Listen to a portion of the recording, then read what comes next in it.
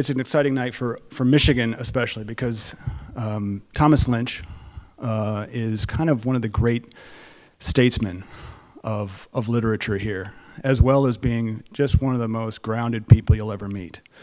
Um, having him come and have a conversation with Bonnie Jo, who is perhaps becoming one of the great Michigan writers of all time, which, uh, which includes Hemingway. I'm not cutting anybody out.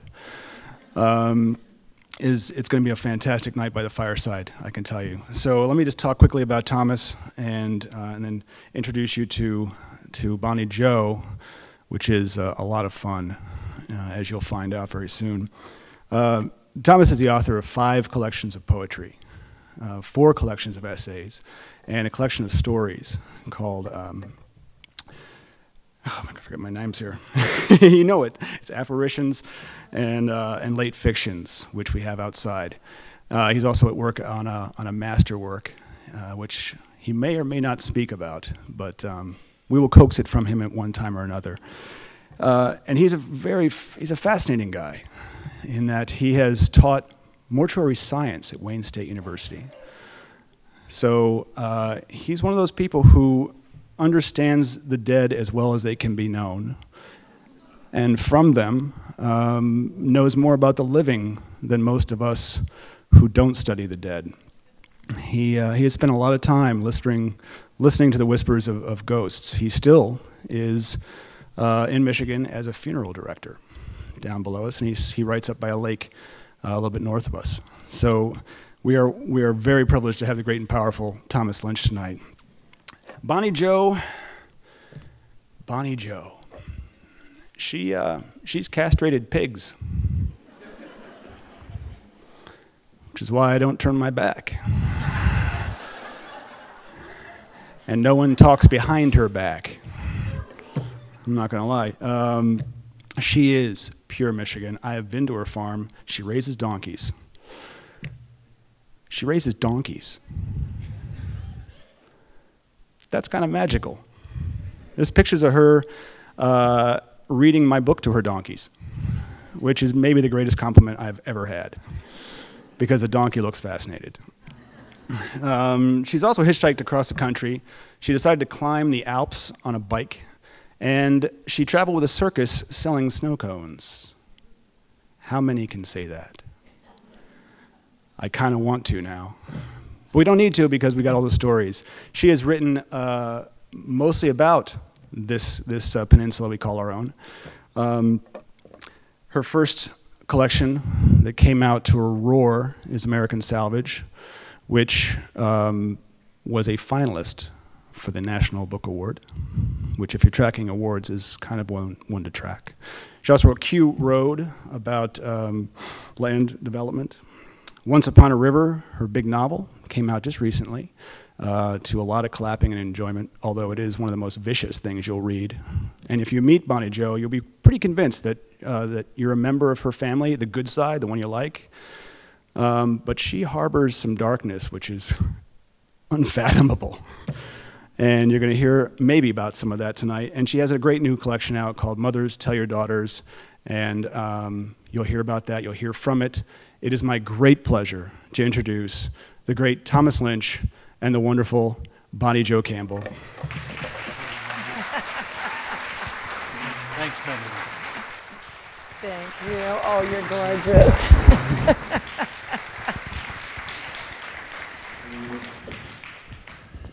Well, isn't it nice to hear such fine things said about you in the It is present very tense, you know? nice, you know, because when you hang around your family, family, you get a whole other story about yourself. Yes. Thanks be to God. Um, first of all, I think I'm speaking for um, Bonnie and Jo uh, and myself when I want to add to the thanks that we're going around in the acknowledgments. Our thanks to Doug and Ann Stanton for the wonderful hospitality and for doing this, to, to uh, carry on this labor of love for as many years and as successfully as they've done so, to, to come to a, a place where they actually have a book mania and a national writers series, and they um, abscond with the Opera House to do it. And it's such, it, it, it's really for writers who are, at speaking for myself now, internationally unheard of. It's really nice to be in a place where they, where they take it so seriously. And I'm very glad to be here. It's, as I said to you, fulfilling many fantasies. Um, Doug said that it should be like our first date. So Excellent, yeah. let me say you look very nice. Oh, thank you. And you write like a ton of bricks. I've been, I've been, I, I'm going to ask you to read a little bit uh, to get us started because when I go on dates, I'm always asking for some, you know, shared literary experience. Hasn't always worked out, but um, well, I haven't been on a date in years, so but this is my first actually. So um, Can I, if I do this, can I order the steak? okay. Okay. just leave the lobster in the kitchen. Anyway, the, um, um, we share a, uh, an editor, Jill Bialosky, a wonderful poet and fictionist and memoirist And memoirist, yeah. and editor and I'd say friend Yeah. in, in both instances. Jill um, is one of those editors who actually reads every word and, uh, and has in mind um, your whole shelf, not just the portion of the shelf she might be reading that week. So, um, when I first encountered Bonnie Jo was when I got a reader's copy of American Salvage. And um, though I think I was sent the, the Michigan Writers Series, the Wayne State version of it, it was when Jill sent it with a letter saying, I think you will like this voice. And um, when I, I, can tell you the section where I fell in love. It was, I, I don't know, 40 pages in or 30 pages in. And when I said, oh, we have the real deal thriving in Western Michigan, and um, things will never be quite the same uh, for any of us. And um, I'm just going to ask you to start by reading some so folks can get a sense of your um, one off, bespoke voice.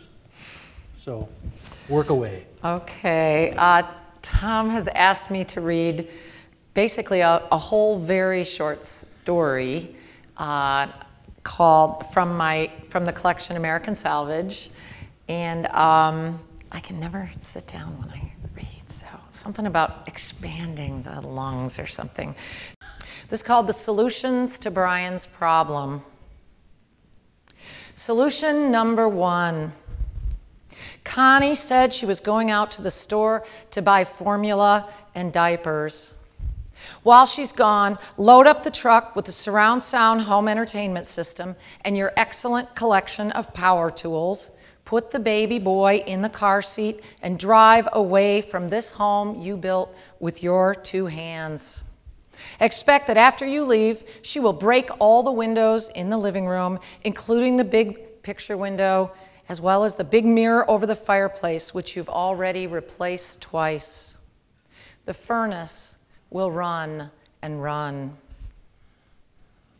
Solution number two wait until Connie comes back from the store, distract her with the baby, and then cut her meth with Drano so that when she shoots it up, she dies. Solution number three put the baby to bed in his crib and sit on the living room couch until Connie comes home. Before she has the chance to lie about where she's been, grab her hair and knock her head into the fireplace that you built from granite blocks that came from the old chimney of the house your great grandfather built when, he, when your family first came to this country from Finland. Blocks you gathered from the old foundation in the woods. Don't look at the, win- don't look at the wedding photos on the mantle.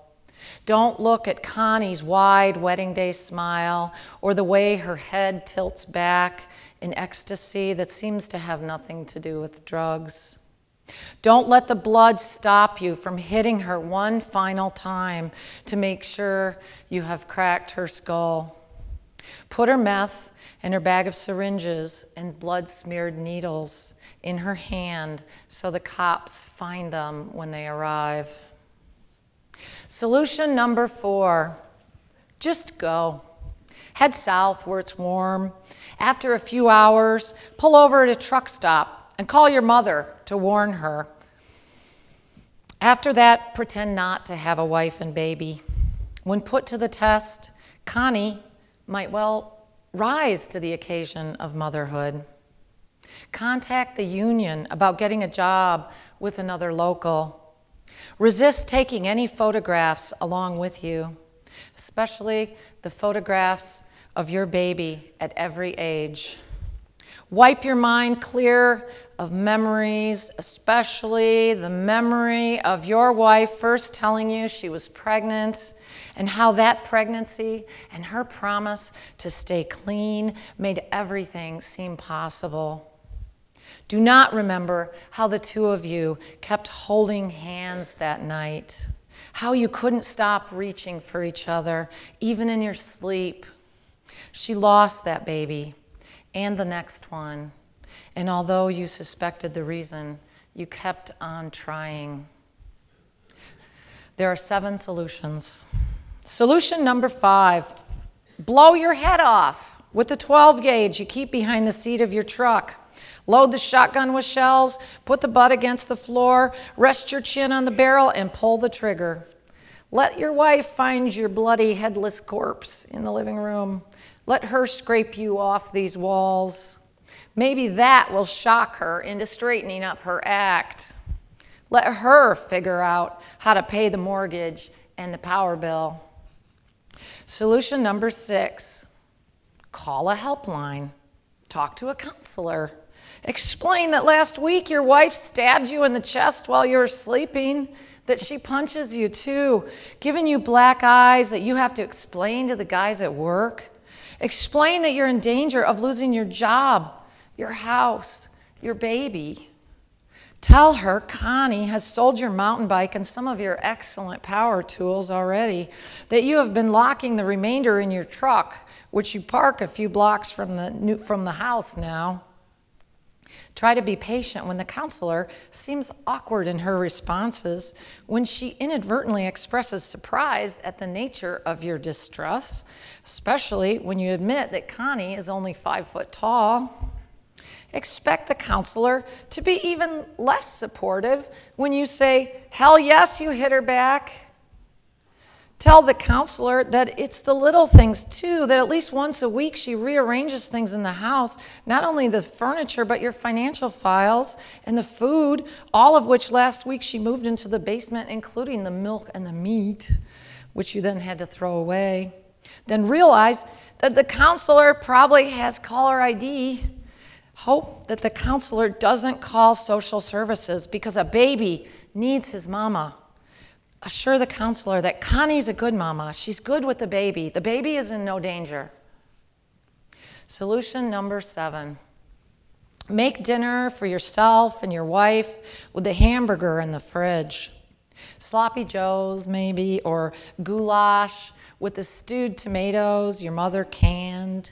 Your mother, who, like the rest of your family, thinks your wife is just moody you haven't told them the truth because it's too much to explain.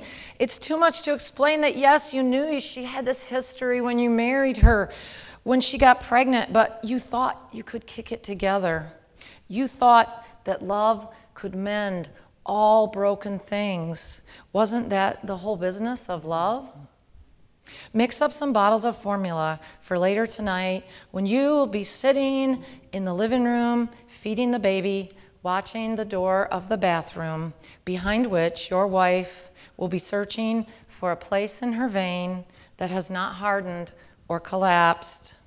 When she finally, come, when she finally comes out, brush her hair back from her face and try to get her to eat something.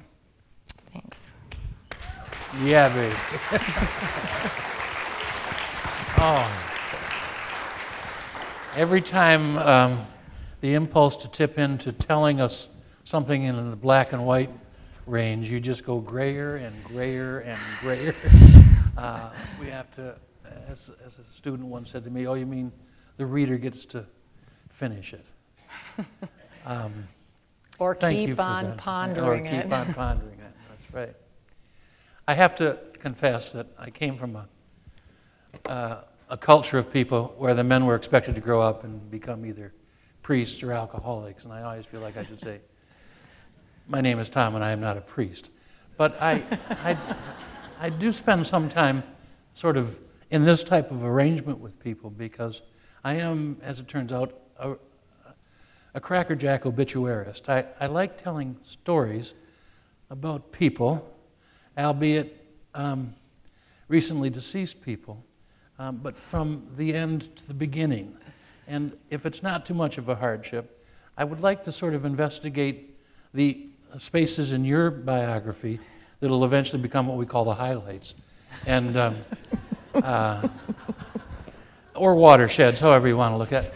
And if this is uncomfortable, you can just say, go bag your ass, Lynch. It'll be all right with me. I've had teenagers. You can't hurt my feelings. So, um, but what I really want to know is you, know, you were born in 1962. I have that right. Mm-hmm. And um, you grew up on a farm where the house was built by your maternal grandfather. His name was Herlihy. A bad dose of it there. So you, yeah. have, you have some splaining to do, as they say in West Clare. And um, your parents were divorced when you were 7 mm-hmm. Do I have that right? Mm-hmm. And so you grew up with your mother as the second of five children mm-hmm. on what could be called a kind of survival working farm or fill in the blanks here. I'm trying to.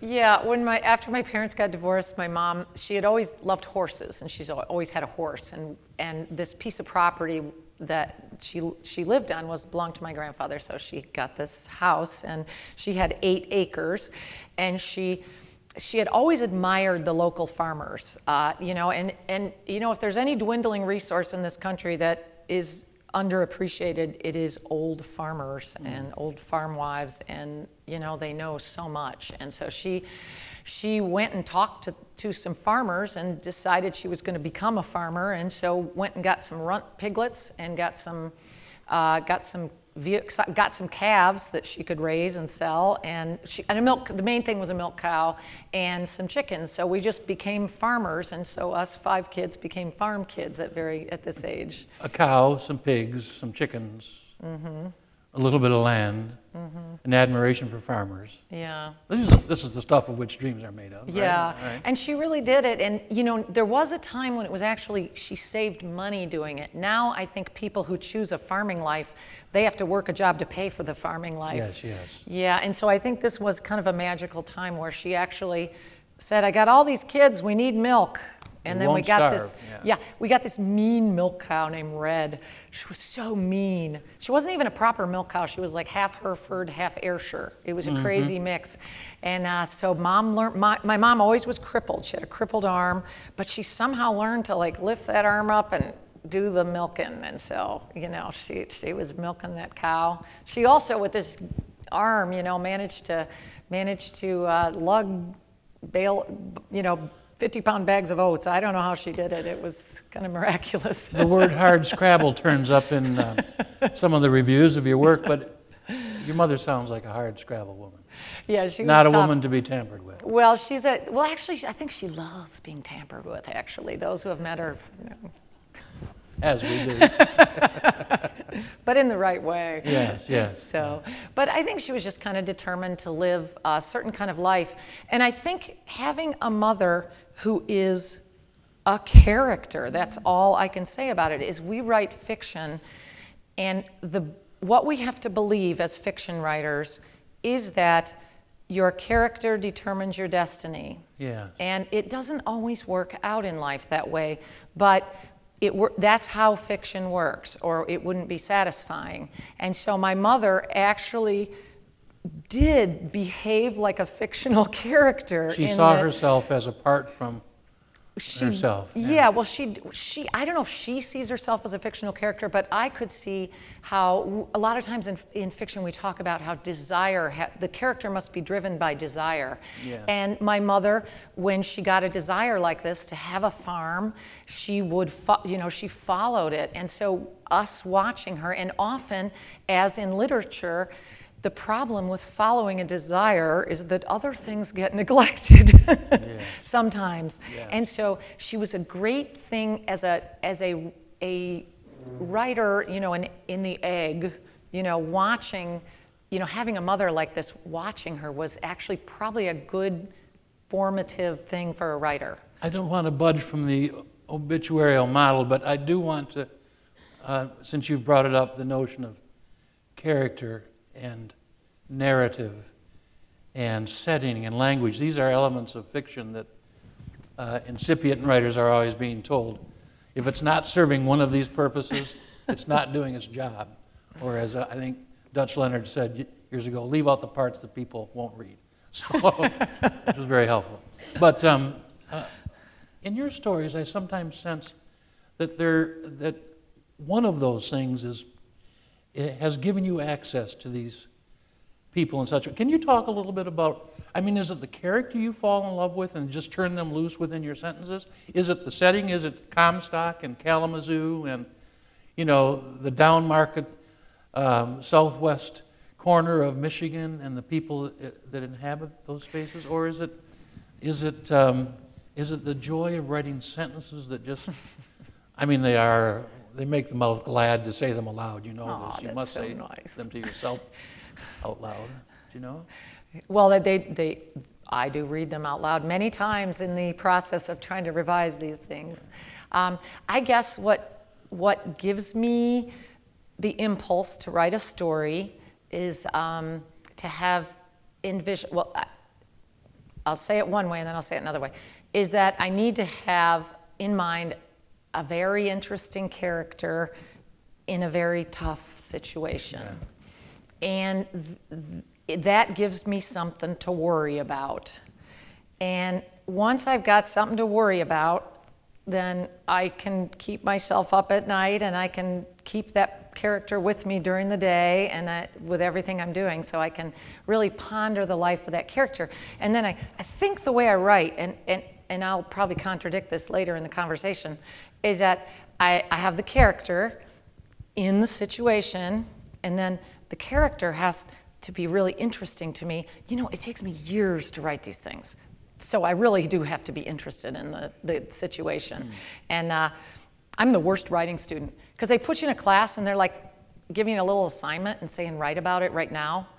And it's like, you know, if you can only write about things you care desperately about, it's kind of hard like somebody gives you a little, you know, like, imagine you're a dog and you're in a car. I don't know. Although actually, I And could you're out of gas. Yeah. yeah. But, uh, but I, um, so I, I get the character getting more and more interesting, and then I have to fashion a situation that allows that character to be the most that character can be. And in order to see what a character's made of, you have to put that character through the fire. that's right. Yeah, you gotta put that because you gotta see what that character is made of. So you have to fashion just the situation that will heat temper your character. And then once you figure out what that situation is, you may find you need to ch- change the character a little and develop the character, give that character a backstory so that to make this make more sense what is happening in the now situation you may have that. And or you may have a fabulous ending to this story and then you got to go back and make sure that the story matches the ending you know? Yeah, yeah, yeah. so it's so you know you wish you could just write these things It has to do with uh, construction and mathematics, I, I dare say. And this returns us to the obituary thing. You left home to go to university. You were 18, I suppose, or thereabouts. so, yeah i think so. You went to the University of Chicago. Um, actually i went to la for a year I know it's crazy. It's a crazy thing to do. Was that because they it- sent me yeah. like this glossy brochure, and I didn't. They didn't really like. I don't know if you guys guidance counselors what they do now, but I think they just drank a lot of tea when I was in school, because, because, well, how I decided to go to California is just like I nothing. I didn't have any like thing, and nobody in my family really was that interested. But they had got this glossy brochure, and I applied to University of Southern California, and then just flew out there and showed up. so they were like, "Well, what are we supposed to do with you?" And I was like, you thought they would just take you in "Yeah, I didn't based know." on the brochure. Yeah, just, Yeah. Well, I'd applied and they'd accepted me. Yeah, well, there's that. I know. so, but anyway, so it was kind of like there was a little negotiating to do. But anyway, I was there for a year and I figured out it wasn't really the place for me. It was, uh, but they had an honors program that was based on the University of Chicago honors program. In And in at this school and so what they said to me was like you really belong we just have a feeling you belong at the university of chicago and they helped me like get Yeah. in somehow And you studied uh, Philosophy. philosophy naturally at Chicago. yes, it, it falls in there. As one would. As one would. That's right. Because there's an awful lot of work in that field now. well that we were we were gonna my mom thought that i would open up a philosophy shop because i think there's one in terry pratchett isn't there a philosophy shop I don't know. I only deal with florists in that Oh, town. okay, yeah. And, and, and there, there were, and you know, the bait shop had just closed, so we thought it would be a good fit to, to Bait it- and philosophy. Yeah. Well, you know, it, you know, I, and that, that was my- Night crawlers in yeah, Bishop Berkeley. Which was my first job selling night crawlers to the bait shop. That was my first job. I Yeah. knew I liked you. Yeah. Um, so I, Got a nickel, You- a nickel each. this is a siren song, but so you finished school at the University of Chicago.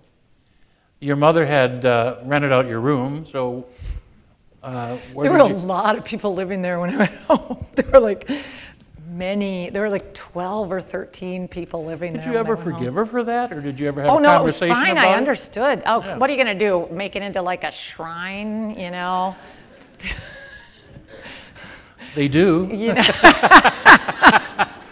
well, there were these bills to pay. Yeah, yeah. And there were always, and my mom took in a lot of people who were Yeah. like uh, down on their luck. Yeah. And, you know, kids would show up in town and like nowhere to go. They would send them to What year did you house. make it to Western Michigan University to study Oh, math? well, it was it was because I, I there were so many people living in my mom's house that I I decided I would bicycle to Boston, and I wanted to quit smoking, and I thought I'll just that'd be an easy way to quit smoking. that would It'd come be to like my mind almost immediately. Yeah. Well, if you're biking all the time, so I, I bicycled to Boston, where I had some I had some cousins there, and uh, they had a boarding house. Who also so- didn't smoke, no doubt.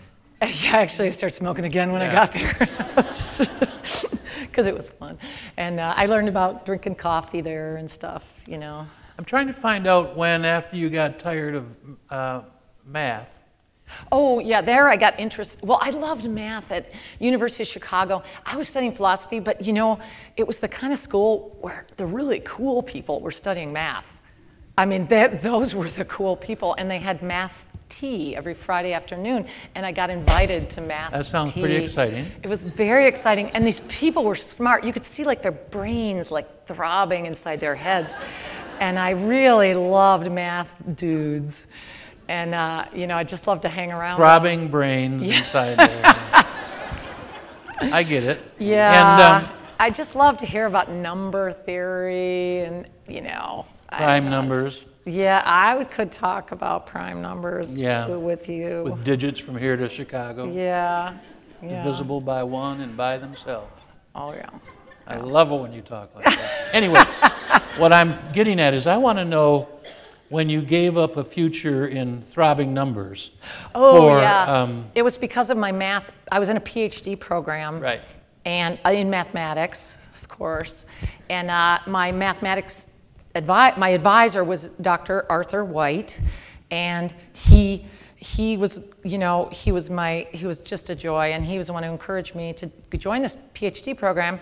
And then after a while, I, whenever I would do math, I mean, math is great. It's so beautiful. It's so concise, and you, you prove beautiful things. But I was like crying all the time. I was just A sign of weeping. something, I was just I would sit down to prove theorems, and it would, you know, you know, and he saw my tear-stained pages, and uh, my math advisor, and he said, he said, it's all well and good, and I had just gotten my master's, which you do along the way, and he said, uh, maybe, maybe you should go take a writing class. My math advisor did, and he said, Stu, isn't Stu Dybek teaching a class over there? Yeah. On the other side, of, and he so he sent me over there. and what year was this, Bonnie? Uh, I don't know, something like 95 maybe. 95. Yeah, yeah. You're saying that was, uh, is that 20 years ago now? Golly, go figure. 95. How's it happen? Yeah. So you went to, you took your math professor's advice, you went over to the creative writing department, and um, fell in with the likes of Stu Dybek and Yep, and Jaimy Gordon, Jaimy Gordon, who I National think Book Award winner. changed everything for, for you. Yeah, she said I wrote good stories. Which the guy at University of Chicago, I took one fiction class, and I can quote him. He said, "That I epitomized all that was wrong with fiction today." well, I was only like 19. What of course, his name? I. I what was his name so we can send a I can, card? I can never remember his name, but it was like Stern or Stein. well, you've said enough. something. You, don't remember his I name. know, and then he died. And I was like, God, I can't even like dislike him anymore because he's dead. I know, like, It's like Corpse 101. yeah. Be nice to the dead guy. Yeah. He was okay, but he shouldn't have said that, you know. He shouldn't have said that. But Jaimy said that you had an aptitude for stories, so it took you about three weeks before you wrote Women and Other Animals. Is that, do I have that right?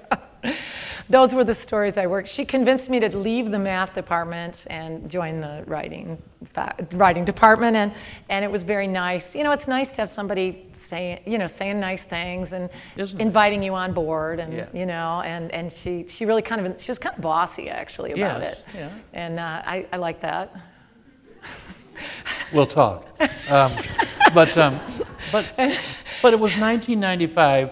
You published Women, Women and Other Animals was your first published collection of stories. Yeah, that's when, and I wrote those while I was getting my MFA program. Right. Which, and you you know, published that in 2000 and 1999, and then I think Okay, it so four years yeah. from I'm going to be a math whiz to I'm going to be uh, a National Book Award finalist. Do I have that right? Four years? 1995, 1999. Yeah. Is that four years?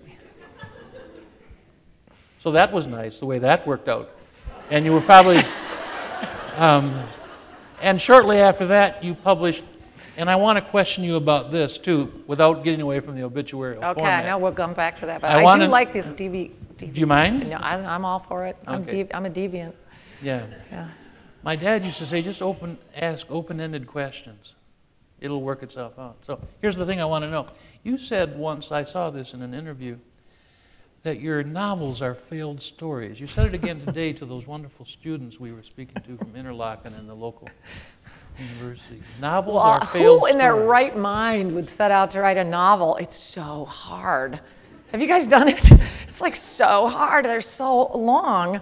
So much has to happen, and every dang sentence in there has to go with every other dang sentence in there, all the way from the beginning to the end. It's like one has to connect to the next, has to connect to the next, has to reflect all those that came before, has to foreshadow all those that are to come, and there's a lot of them in there. It's like that So- formula that Goodwill Hunting had on the blackboard in, yeah. yeah. Yeah. So I always try to write a short story, and then sometimes it doesn't work out. Sometimes it doesn't wrap up. And that became Q Road, yeah. which was published in. In, I think 2002. So three years from your first collection of stories to Yeah. You was knocked really out your first novel. I was really panicked about it. I thought I did think I couldn't write a novel, and then I just, you know, the minute I think I can't do something, I really buckle down to do it. And then, so that's how I, I did it. And the so. thing for obituaries is you only have, it's like being the president of the Rotary Club. Once you've done it, once is enough. You become a novelist as soon as you've signed for your first novel. Yeah, you're, I, that sounds good. That sounds good. That's why they don't I know. So why did I do it again? So um, so you did, um, you committed this fiction in its short form and in its longer form, all within a space of a few years of having decided you weren't going to be a mathematician. Did you think in your, in your brain box that you were going to take up teaching math? I did. That's why. And I was the only person ever to get an MFA. I can't believe that I'm the only person ever in the department at Western to get. While I'm so practical that I already had a certification to teach mathematics in the public school. And get this, I am certified. I'm the only person in the state certified to teach philosophy in the secondary schools because when they found out that that was still an option, and after I got it, they, they closed it down.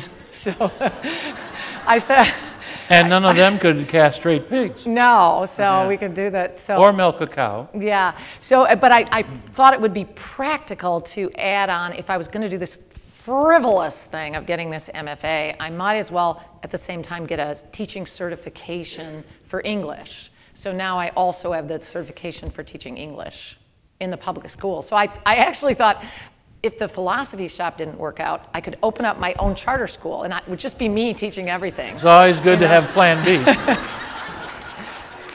And I, I can tell it- you, you look very good in black. So if the writing doesn't work out, call. Oh, I could do the more. Oh, okay. I could Swinging greet, doors, I carrying could flowers. It'll work people. out, yeah. Okay, good. But uh, I, I do want to ask, and this again is a, a off the off the beaten path of your obituary, though I, I think it would probably get it into the easterly and westerly coastal papers if you included some mention of this. And I want to know about your um, and when your affection became. You and I both have fine. I've, yeah, we do. I have, yes.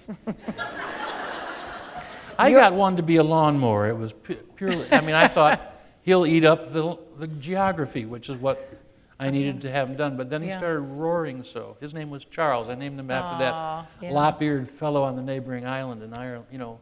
And then he oh, was so the sad. prince. Yeah, Prince Charles, yeah, yeah. Okay. yeah. Who, who is, as go, um, A fine one. In any event, um, Charles started roaring for, because of the loneliness inherent in Oh, you better life. him. So I went and found him a, a mare. We called her Camilla, for obvious reasons. and um, the rest is, as I say, animal husbandry. But tell me about Don Quixote and what's your other fellow, Jack? Jack. Jack, yeah. Yeah. I, you know, named after Jack Driscoll, and uh, Don Quixote, of course. That'll go in his obituary. Yeah. Um, yeah, I have two fine, and um, it- I actually all my mother part of the farming thing when she became a farmer, she also became a horse trader. And it really is a rough business, that Yeah. horse trading. There are so many interesting horses that pass through. We used to have, my mom used to do a lot of artwork, and at one point we had uh, a big picture window, a big window, and we had curtains where she had drawn a picture of all the horses we'd ever had. And it's really all the horses, and they were, uh, you know, in colors and all their colors. But what happens when you do horse trades is they'll just throw in a donkey. they, they just do. Yeah. So we always had donkeys around. Yeah. And just for fun, and they'll keep a horse company, they'll mow your pasture. They don't really need to eat that much. They're really pretty easy to take care of. And uh, so now we, so we've just always kept the donkeys. We ended up, and they last, if you actually take care of your donkeys, they will live to be at least 40. Um, and if you, you know, if you, a horse will last to 30 if you get good care, but those donkeys really last. And so I do have two fine donkeys, uh, Jack and Don Quixote, and if you, you can find lots of pictures of them online. But I will say that one thing that's interesting about them is that uh, we, we um, had uh, Jenny, of course, Jack and Jenny are the standard donkey names, but mine is special because mine is Jack Driscoll. But um, Jack and Jenny, uh, well, actually, I should tell you, Jenny was 40 and she had a baby. And we had to get rid of the baby and because we didn't want the baby to breed the mom. And so we get rid of the boy baby and we trade him for Jack, who is not related. So Jack is very young, but we decided we did not want Jenny at age 40 to have another baby. So we got Jack castrated, quivering my We do. hands. Uh, well, you know, the vet hands them to you like you're supposed to do something. He's like, hold these, you know. I didn't know if I was supposed to eat them or bury them or what, but you know. This is detailed, by the way, as one of the later subsections, which I see as like a sonnet sequence. These lovely vignettes that are part of, what is it, Daughters? in the- Daughters of the Animal Kingdom. Da- Daughters of the Animal Kingdom, in which you consider slugs and uh, what's the bi- bivalves or something? It's wonderful. The slugs but and their when it comes to the darts. bollocks at the end, whether to bury them or eat them, it, it, I have sympathetic pains as, as we do. And um, because I had a six year old, Charles was six when he was castrated because Yeah. he'd, he'd gone donkey mad. He'd spent the autumn with four mares that belonged to a neighbor of mine. And I just thought, well, the more the merrier. I'd had fantasies, etc. And he, but he came back ruined. I mean, he thought Yeah. he was God's gift, so we had to. He And you know, the- he was going after the fetlocks of all the mares, and I mean, show horses and stuff. I said, in this economy, you'll get a bullet in the head if this doesn't work. So Yeah, yeah, it's really raw. we It's- probably won't have time to talk about guns, but I really would like to talk to you about. We could talk about, I love just leaving them, oh, we've got a, you know, the frayed edges. We open it, we're going to have to obviously have a television show, you and I, in which we have several episodes. Well, so- I don't know if you read um, lately that at the University of Texas in Austin, um, Texas uh, recently passed an op- or a concealed carry law, which allows for students at the University of Texas in Austin to carry their weapons into class. It's occasioned a few re- retirements, early packages, as they say among the faculty. But um, uh, and so some enterprise, and, and of course, you will remember, you won't, because you were only four when, who was that former Marine that climbed up to the top of the tower at the University of Texas? Oh, yeah, the Texas Spent a Tower half hour. 40 minutes shooting people. Yeah. Sorry? Charles Whit, uh, yes. And um, so it has a, a history of guns, but as, as sort of a bromide against this, some of the undergraduates have decided that they're going to have open carry dildo day in uh, the fall, in which, because there is a law in Texas against that. Oh, against So you can carry a 44 Magnum, but you cannot carry um, a sex toy. Uh, and it occurs to me that, um, you know, I've, of course, two out of three gun deaths in this country are suicides Yeah. by gun. And um, I think of all the teenagers suffering from identity issues and other depressions who wander through the house until they find either a revolver, a revolver or a dildo. I think they're better off with dildos. I mean, I'm, I'm just saying, I it would take a long so. time to exact the kind of damage with a plastic um, device than it would with, say, a revolver. Yeah, that, So I, yeah. but but but revolvers play. with you there. But revolvers play or gun. You know, guns play such a wonderful part of your fiction that I wonder if you what your thoughts are on that subject. You know, now I'm just thinking about dildos. I have succeeded. Just thinking about that in the pocket. no, they're going to carry them in their backpacks so they sort of flop.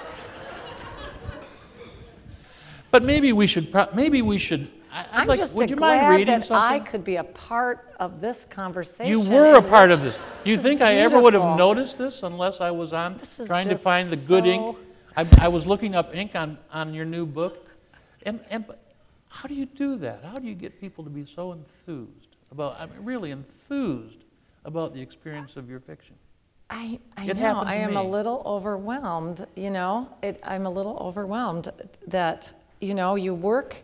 It, it's a marvelous thing that somehow, sometimes, we work hard and get the right thing onto the page at the right time, and some other people like it.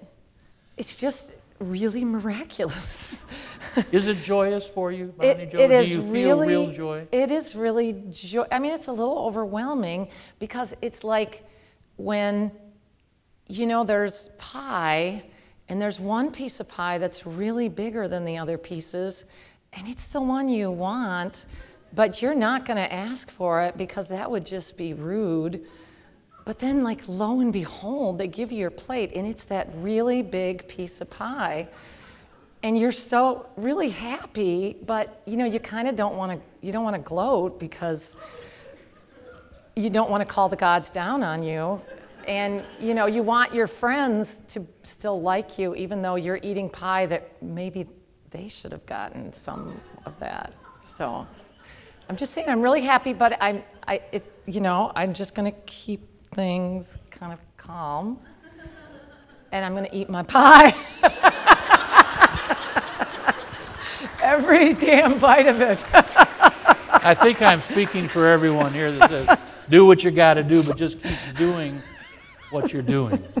Because it, it does, it really does. I can, speaking now only for myself, um, there are times when I, I'm reading your stories that I just absolutely It's the catch in the breath that we all want to think that we make in people's lives. she did that. How did she do that? Oh, thank you. I'd like, I'd like um, you to read one section from your title story that I kept reading over and over again, thinking I'd find the cipher for how this is done.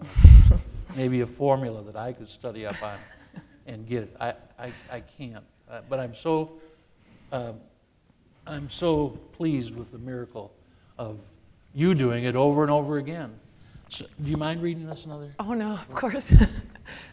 A lot easier to read and it than it is to write it. maybe after this, we can, um, we can think about turning this over to the, uh, to the questions and curiosities of the people who, and by the way, I, th- I think I'm speaking for you again, to have a room full of people listening to this blather is like going to the shrink and not getting a bill for it. So we're both really grateful to all of you for, for coming here and listening to this.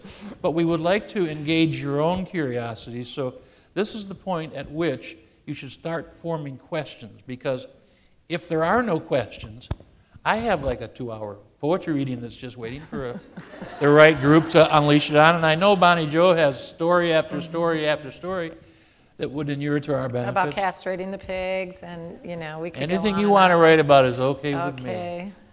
But this part actually takes my breath away. I didn't lose it. It's here. And I do make really good chocolate candy, and I'm happy to share my recipe with you. They, I, I- I believe outside really they have some, of. don't they? Well, Bonnie have- Jolt Candle, Well, well, I have to say, like, it's weird.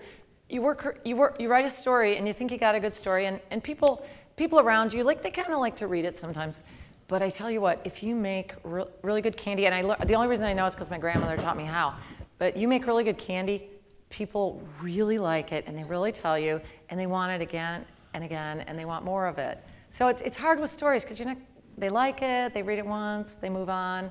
But with the candy, you can, you can you know, get the joy again and again, the joy of giving. I've so, noticed that. Yeah. Um, can you start here where it says when I was a teenager Okay. and just read until th- the end of this? Okay. And you know, it's great. The light, lately when I've read, I keep forgetting I need reading glasses and I have to borrow some from the audience, but like I'm standing in this bright light. And so it's really great. I can actually see. Okay, so start when I was a teenager. Oh. Okay, uh, this is a this whole story is a. I mean, it's it's a ridiculous story to write. Impossible. It's like a woman lying on her deathbed, basically having a monologue inside her head about her life, but it's it's spoken. It's monologued to her daughter, and she's trying to basically explain herself to her daughter, who is middle aged. Uh, yeah, I don't- I don't want mean to interrupt you. This woman has end-stage can- lung cancer. She's had a stroke. She's lo- she has no speaking ability. She can hear, she says. Yeah. She says to no one that she's not speaking aloud. And it is one long soliloquy that is over too soon as far as we're concerned. All by way of saying, at the end of all of this, there are, there's a table with books for sale. Bonnie Jo's brand new book, uh, 24 Hours Out in the World. And for all those people who, by whom you're vexed around holiday times, you know, they seem to have everything. They don't have that. That's right. They don't, do they? They don't have that. And that this will improve them in all ways. And it'll, it'll improve their uh, notions of you if you give it to them. They'll never, they'll never forget you or forgive you, but it'll change their lives. And I'll sign it. I'll be happy to sign it to see. Um, I've never read this part a lot. I mean, since the book's come out, so we'll see. When I was a teenager, my friend Julia said one day, "We got to look pretty." I shaved my legs for the first time, and it took a long while to stop the bleeding. Us and two, oth- and two other friends got hold of a six pack, though we didn't like the taste of beer. We carried the bottles to where some men lived and reclined on their couch, ankles crossed. We didn't know how to talk to men, so we just smiled, and silence hung above the bag of pretzels they brought out until the men started to laugh, until we laughed with them. They were older and muscular and smelled of smoke and solvents from the repair shops where they worked. One man had a glass eye, said he'd been shot. When he popped it out, we were all possessed by a powerful desire to hold the blind thing in our hands. Julia touched it first and passed it around. She got pregnant right away, and the rest of us followed. And for a lot of years, we raised our children, fed our husbands, worked hard at low paying jobs or jobs that didn't pay at all, and learned just how tired a body could be. Those men took me by surprise, but I never looked back, never stopped singing love songs, never longed for a time before men. Men's machines still sing to me revving chainsaw, motorboat, log splitter, rototiller, leaf blower, generator, humming, cordless drill, rattle, trap, tractor, power, washer, hedge trimmer, biting grinder, motorcycles with mufflers torn off, diesel trucks chugging in the driveway. You remember those men who came to me after a fishing trip up north and filled my wringer washer with smelt. Come, come out with us and play, men used to call like tomcats, and out I went. That old wringer washer was never the same after all them fish. The men who came around never passed up an easy target, so they killed all the rabbits. I meant to sew a blanket from the soft skins to replace my own skin, which I imagined wadded up under a bed in my room, smeared with menstrual blood, stiff with sperm, stretched by pregnancy. For years, I'd warmed myself in the borrowed skins of men. I was good at cutting pelts from flesh, muscle from bone.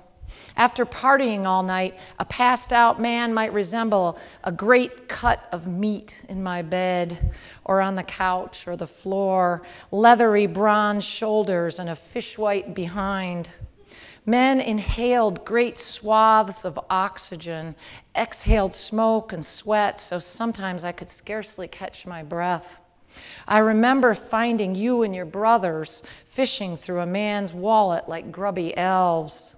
Shoo, shoo, I said, and the men slept on. After your daddy left, I tried to raise you to know men and not to fear them, so you wouldn't be taken by surprise. I figured that if any of them bothered you, you'd make a fuss the way you made a fuss when I wanted you to get out of bed early and haul buckets of water to the creek when the pipes fro- from the creek when the pipes froze. Of course you were scared of your daddy. He was a fearsome man, and he scared me too. But you could have whined and glared at them other men the way you did at your poor worn out ma who tried to feed and clothe you with no money. How was I supposed to know there was trouble with the way they pulled you onto their laps if you never told me you didn't like it? It seemed like you were trying to have, it seemed like you were having fun when they said how pretty you were. You were never the kind of kid who smiled, so I couldn't tell. Mm, mm, mm.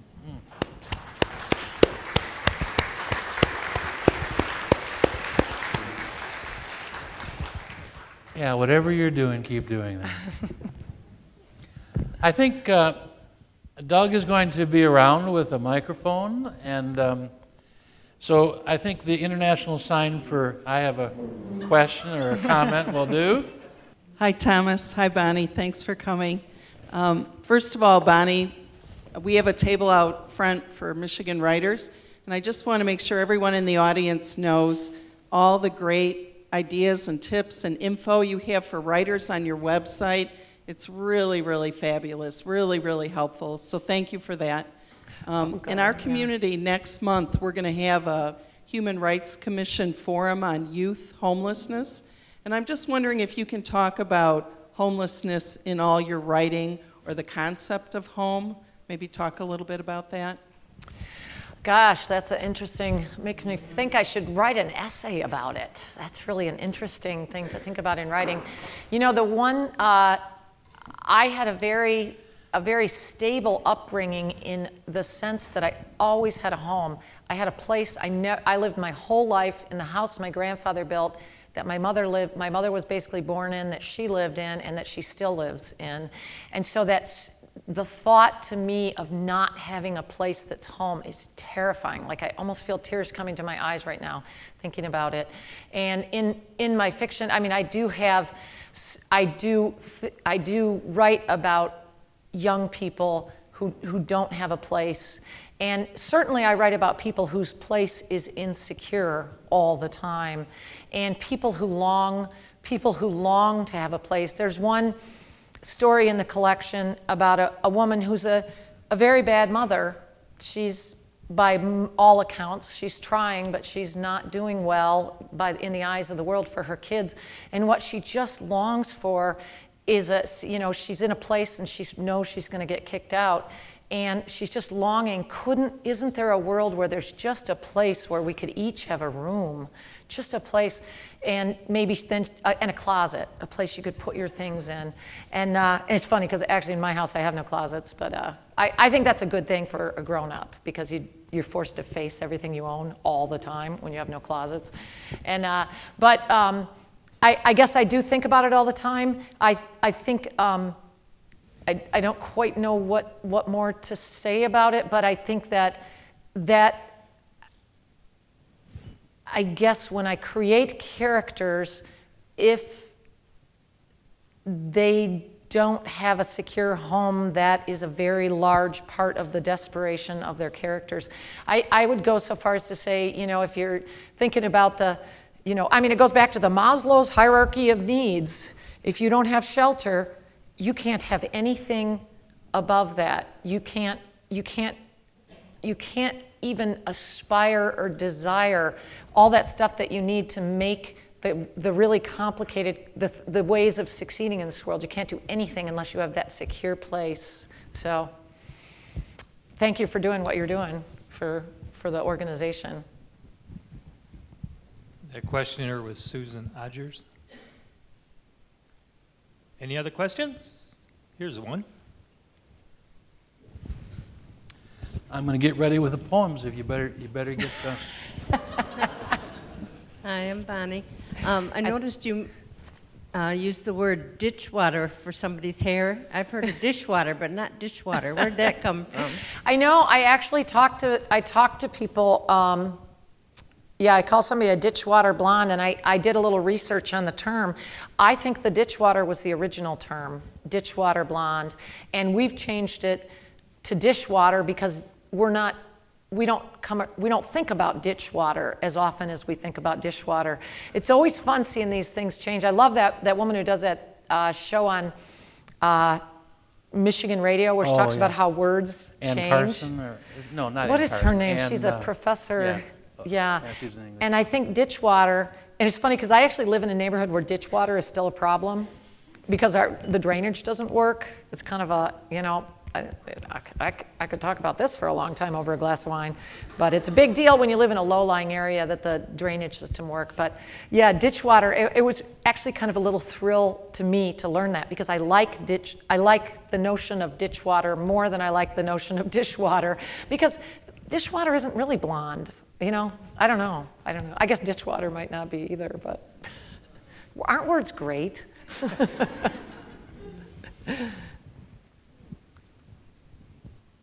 Hi, Bonnie. Thank you for being here, and Thomas as well. I noticed that you have a photo of Flannery O'Connor in the lobby. Tell us about your relationship with her. I hope that some of you will take advantage and have your photo taken with Flannery O'Connor because she is traveling with me on my book tour. Uh, Flannery O'Connor is a great inspiration to me. Um, I'd like to say she's an influence. We'll, we'll figure out later in about maybe 20 years whether that worked out.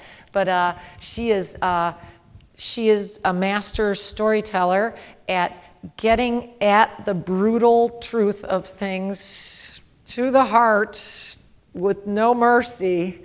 And she, but she had something that I don't have. Uh, she is a, she was a faithful Catholic who really believed for example, she was eating the body of Christ on Sunday, and she also thought that God really was going to sort it all out. And I think that made her I think that made her literary project slightly different than it would have been otherwise.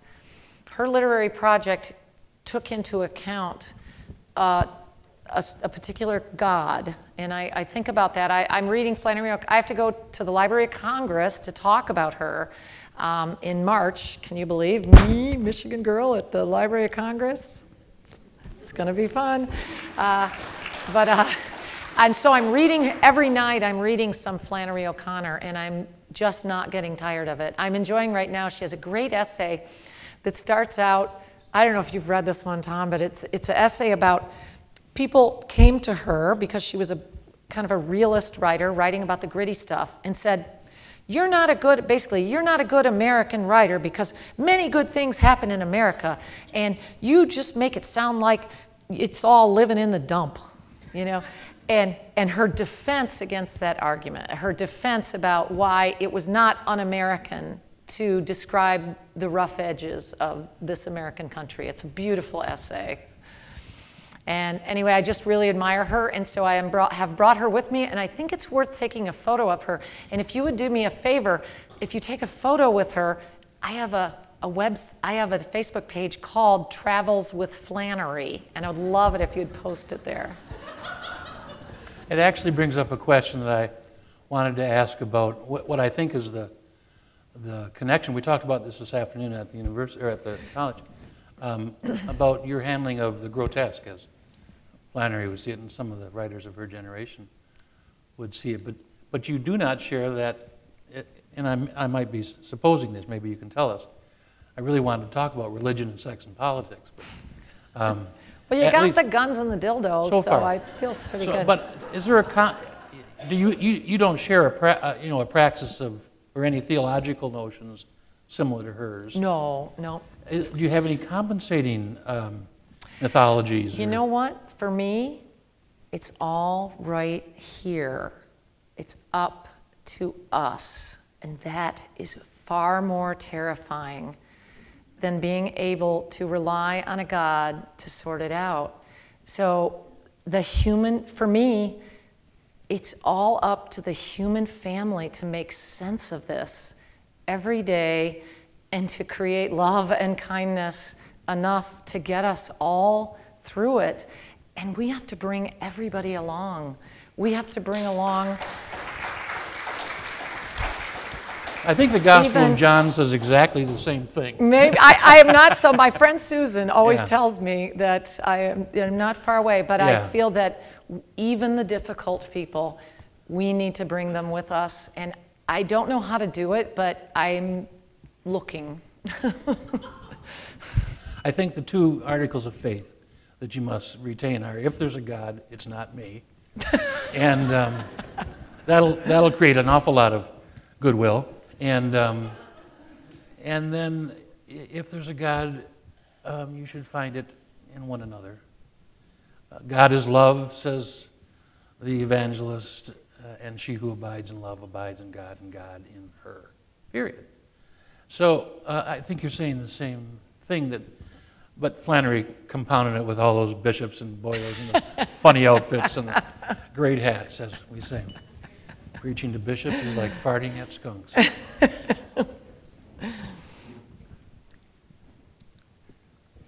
Hi, my name is Rebecca. Besides Flannery O'Connor, can you tell me some of the books you've been reading the last couple of years that you've really enjoyed? Um, I can think of some story. Uh, I really love that new story collection by Elizabeth McCracken.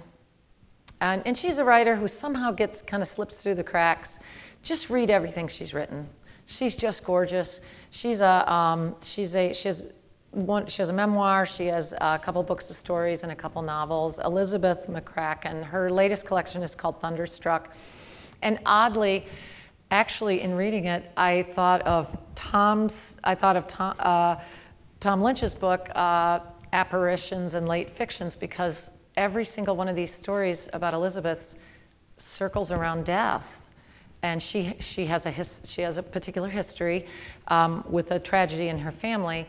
And every one of these stories circles around death, and yet is so full of life for the way she has done it. Like the death in her story makes life richer. And uh, these are really beautiful stories. Um, for fun, fun, fun, I love to read Aimee Bender. And she has a nice collection of stories that's come out in the last couple years. I can give my agent a plug. There's a great story. Bill Clegg uh, wrote, a, wrote a novel called, you, and the bookseller might have to correct me, once there, Did You Ever Have a Family? And it's a, very, it's a beautiful story about people moving toward and coming away from a tragedy. I'm speaking to Alice McDermott the day after tomorrow at Fordham, and her new novel, her most recent novel, Someone, is worth the time it takes to read. It's a, it would put you in mind of a, well, she's a, she's a, another great fictionist. So, Hello. Uh, you talked a little bit about how you start writing stories. Can you talk about when you know that you've hit it, like when you know that you're, how you how you finish, how you know when you're done? Yeah, because we always think we're done before we're done, don't we? And it, it's just hope, hope this is it, hope this revision does it. And then we put it aside a while. Sometimes we know, and time will tell. Sometimes I do advise putting things aside a little while and looking at them again. But often, often it, it would behoove us to share it if we are fortunate enough to have friends who would read it and talk about it with us. It doesn't even have to be that your friends have to your friends have to say if it's done or not. Just allowing, I mean the most wonderful thing in the world is to write something that matters to you and then create a conversation in the world about that thing you just wrote.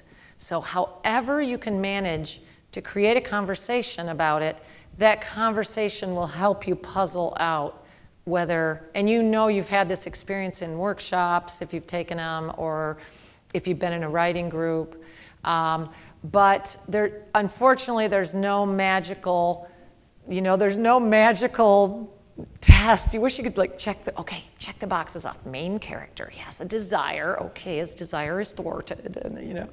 Uh, and so you, you just off, you just often don't know. And I'm sure you do all the things we all do, which is read those stories aloud, every word of them over and over again, and stick with them.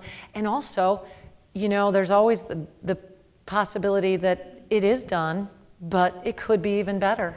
It could be a better story if you stuck with it even longer and made it richer and more powerful. So there's, uh, if you're willing to stick with the story, I mean, I almost think of those stories as my friends sometimes, you know, because I stick with them a long time and I go back and revisit them and catch up with them and see what's going on.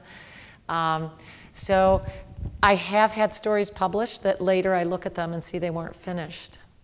And something about, for example, this the book Mothers Tell Your Daughters, I had to write on a dead I had to write on a deadline, and a lot of those stories were older.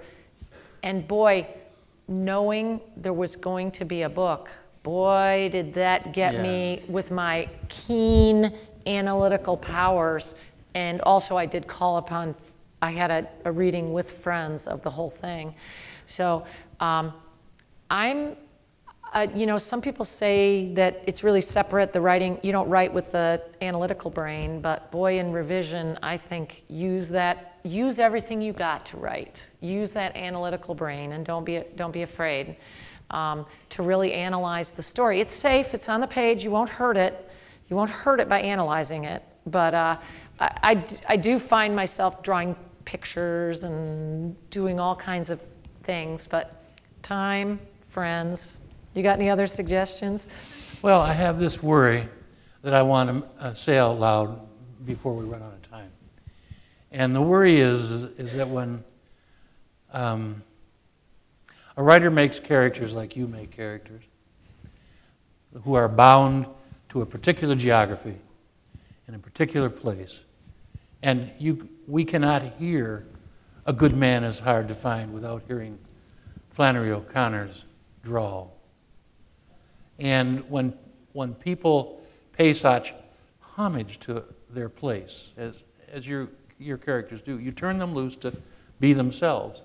There is a ten, and particularly when you name a book, Mothers, comma, Tell Your Daughters, there's this um, there's this concern I have that people will see this as regional fiction or chick lit or something like that. This is not. This is mothers tell your daughters, tell your brothers, tell your fathers, tell your sons, tell, tell everybody you know that if you want to know the human condition, you go to the best writers you know. And on the evidence, this is one you can't do without. I, uh, no, I'm, I'm not, I, I, I mean this seriously because I, I think all adjectives subtract. Uh, You know, for years, it was never enough. I, you know, I was the Undertaker poet. we get that, you know. But beneath that was the suggestion that, oh, these are pretty good poems for, you know, an Undertaker or an embalmer. So there was this little dagger in there of, you know, well, oddity is the same as celebrity. We, we can play with both of those. But these stories are uh, hard work, hugely revised. You have given as good as you can get. You're bringing your best dish, Bonnie. and don't let, so particularly all the men, give this to your men friends and say, read this. If, as many men of my generation come into their, you know, into their um, last trimester, uh, thinking that they don't have a clue about what it is uh, to relate to a woman, give them this book. They might uh, go further into the void or they might learn a few things. in, ev- in any event, they will be deeply improved by it. Don't let anybody try to make you a woman writer only or a, uh, what is the rural noir? You know, that- that's nice. You're a writer, full stop. A crackerjack writer of fiction. And, um, and if you don't believe me, pony up to the bar, buy the book, and you can always regift it, but re- read it on the way home. You'll do fine. I, I dare you to go a page into it and leave it down. I really do. It's, it's worth doing. I, I think we should probably, I don't know, Doug, what's our timing like?